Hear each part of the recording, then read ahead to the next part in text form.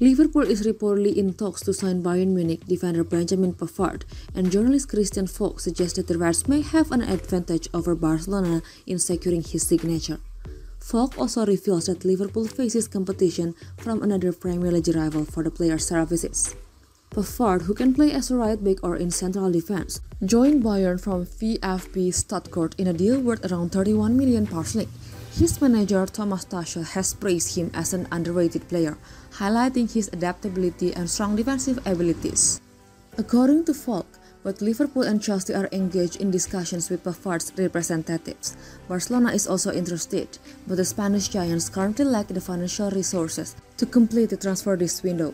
Falk suggests that Barcelona may aim to sign Pavard as a free agent next summer. In addition to Pavard, Liverpool is reportedly exploring other defensive options. Transfer insider Dean Jones previously revealed the club's interest in Chelsea youngster Levi Colwill. However, Chelsea is reluctant to sell the talented centre-back, and Tottenham Hotspur is also said to be interested. While Liverpool faces challenges in securing Colwill, they have successfully bolstered their midfield with the signings of Alexis Mac Allister and Dominic Szoboszlai. The club is now reportedly considering a move for Southampton's Romeo Lavia, who may be attainable following his team's relegation to the Championship. Overall, Liverpool has made promising moves in the transfer market and their summer could become even more successful if they secure Lavia and potentially one of Colwill or Pavard. While challenging Manchester City, the reigning treble winners for the Premier League title won't be easy.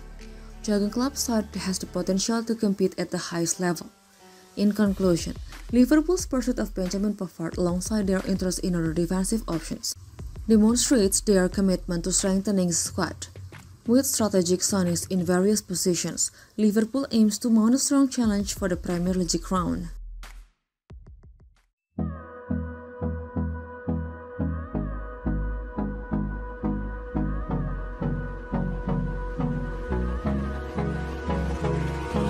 Hold me close till I get up